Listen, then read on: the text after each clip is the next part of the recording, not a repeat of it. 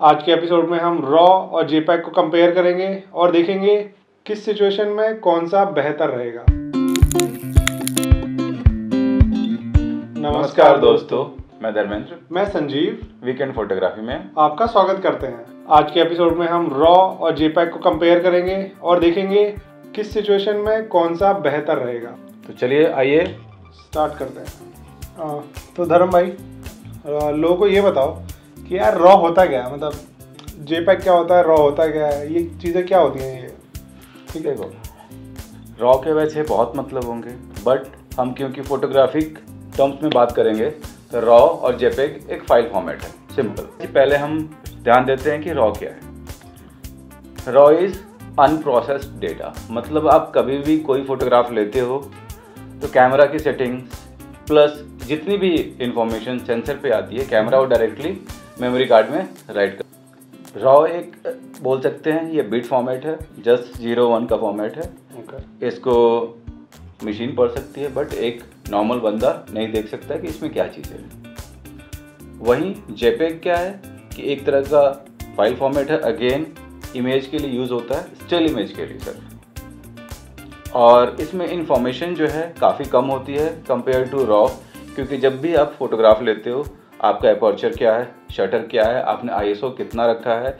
White balance क्या रखा है? इन सबको मिला के कैमरा एक फ़ाइल प्रोड्यूस करता है। बेसिकली वो पहले रॉ प्रोड्यूस करेगा कभी भी, उसके बाद उसको कन्वर्ट करेगा वो जेपैग में। तो जो कन्वर्टेड फ़ाइल है, वो जेपैग है, जो अनकन्वर्टेड फ़ाइल है, जो पूरी की पूरी इन्फॉर्मेशन रख रहा है, वो हमारा रॉ है। अच्छा तो आ, तो धर्म भाई आ, इस हिसाब से तो जो हमारा मोबाइल है राइट वो भी कैमरा है उसमें भी कैमरा है राइट तो वो भी रॉ करता है क्या सेव हाँ राइट जितने भी कैमरेज हैं चाहे वो मोबाइल हो डीएसएलआर हो पॉइंट एंड शूट हो या कोई सा भी हो सारे के सारे इंटरनली पहले रॉ प्रोड्यूस करते हैं फिर आपको रिज़ल्ट वो जेपेक में प्रोसेस करके देते हैं। डीएसएलआर या कुछ high end cameras phones high end phones हैं जिसका प्रोसेसर बढ़िया होता है उसमें आपके पास ऑप्शन है कि आप दोनों फ़ाइल फॉर्मेट रख सकते हैं रॉ प्लस जेपेग सिर्फ़ रॉ या सिर्फ़ जेपेग तो चलिए ये तो डाउट क्लियर हो गया। ठीक है। तो अभी तो धर्म भाई रॉ में क्या क्या फ़ायदे होते हैं? पहले वो बताइए। तो जैसे मैंने डेफिनेशन में बताया कि रॉ में सारी इन्फॉर्मेशन होती है डिटेल इन्फॉर्मेशन पूरी की पूरी होती है। तो इसके फै इसका फ़ायदा ये है कि आप जब पोस्ट प्रोसेसिंग कर रहे होते हो तो आपको काफ़ी मार्जिन मिलता है। पहली बात कि आप वाइट बैलेंस पोस्ट प्रोसेसिंग में चेंज कर सकते हो, जो कि आपको जेपेग में नहीं मिलेगा। रॉ जो है 12 या 14 बीट फॉर्मेट है, जबकि जेपेग आपका 8 बीट है। अगर आप इमेज को ब्राइट करना चाहो या इमेज को डार्क करना चाहो, आपके पास इतना मार्जिन होता है। Third benefit picture style raw में आप चेंज कर सकते हो जेपेग में नहीं कर पाओगे। पोस्ट प्रोसेसिंग में मार्जिन बहुत ज़्यादा मिलेगा। जेपेग में वही आपको नहीं मिलेगा। धर्म भाई ये तो रॉ के फ़ायदे हो गए राइट तो जेपेक के क्या क्या फ़ायदे हैं? ठीक है वो भी बताइए आप एक बार हाँ, सबको। संजीव भाई देखो। हाँ जी। बहुत लोग क्या है कि रॉ में अभी भी क्लिक नहीं करते हैं। दे प्रीफर कि हम जेपेग ही क्लिक करें। कि पहली बात कि वो अपनी सेटिंग करेक्ट रखते हैं और they don't want to post process दूसरा पॉइंट ये है कि मेमोरी आपका रॉ बहुत ज़्यादा मेमोरी लेता है ऑलमोस्ट फाइव सिक्स टाइम्स ज़्यादा जेपेक से। रॉ आप शेयर नहीं कर पाएँगे डायरेक्टली अगर वही आप जेपेक क्लिक कर रहे हैं तो आप डायरेक्टली शेयर कर सकते हैं। और जेपेक में भी एडिटिंग का स्कोप है बट रॉ के मुकाबले बहुत कम होता है। मगर अगर आप कैमरे की सेटिंग सही रख रहे हैं तो जेपेक पे करेक्ट इमेज आती है और थोड़ी सी पोस्ट प्रोसेसिंग में वो बेहतर हो जाती है। ओके okay, तो धर्म भाई ये बताओ कि जेपैग कब यूज़ करना चाहिए और रॉ कब यूज़ करना चाहिए?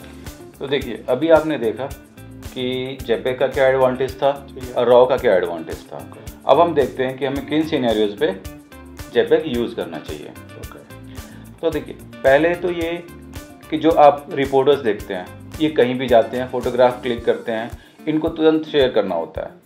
इनके पास इतना टाइम नहीं है कि ये पोस्ट प्रोसेसिंग कर पाएँ। उस कंडीशन में ये हमेशा जेपेक ही यूज़ करते हैं। सेकेंड थिंग हमने देखा है कि बहुत सारे वेडिंग फोटोग्राफर्स भी जेपैग ही यूज़ करते हैं क्योंकि एक वेडिंग में बहुत सारी फोटोग्राफ हो जाती हैं। एक इवेंट में आपको मोर देन 2000 3000 फोटोग्राफ्स क्लिक हो जाती हैं।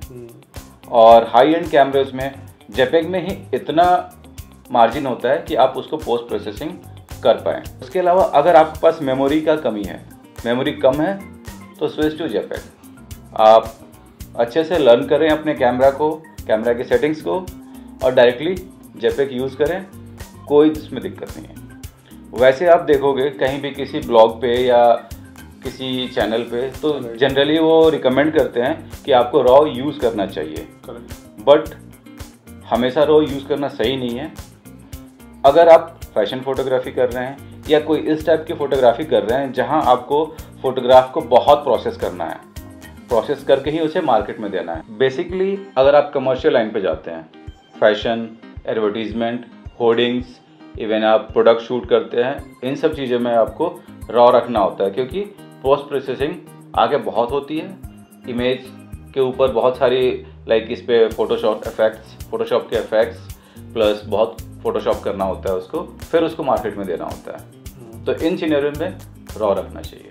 तो आज हमने देखा रॉ और जेपेग में क्या फ़र्क होता है। और आप खुद डिसाइड करें कि आपके लिए रॉ सही रहेगा या जेपेग कि सुनी सुनाई बातों में ना आए ठीक है? अपना दिमाग खुद लगाएँ और आप खुद सेलेक्ट करें कि आपको रॉ शूट करना चाहिए या जेपेग हम्म, ये सही बात कही संजीव ने। किसी की सुनी सुनाई बात पे ना जाएँ किसी डॉक्यूमेंटेशन पर ना जाएँ कि आपको रॉ शूट करना चाहिए तभी आप प्रोफेशनल फोटोग्राफर हो। Exactly. ऐसा बिल्कुल मिथ्या है।